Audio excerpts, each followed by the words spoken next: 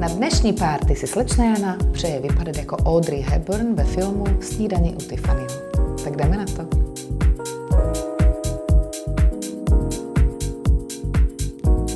Pro Audrey Hepburn jako takovou je velice typické hrubé, rasty, velice naturální obočí.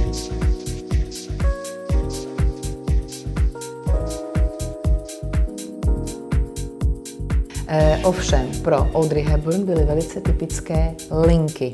Naznačíme si to na jedné straně, pak na druhé straně a postupně budeme přidávat na každé straně. Pro Audrey je taky typické to, že používala ještě stín ve spodní linii řas. Na závěr přichází k slovu řasenka.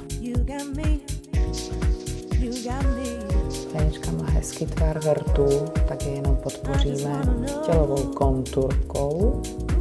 Celé rty probarvíme a pak na to následně budeme nanášet červenou rtěnku.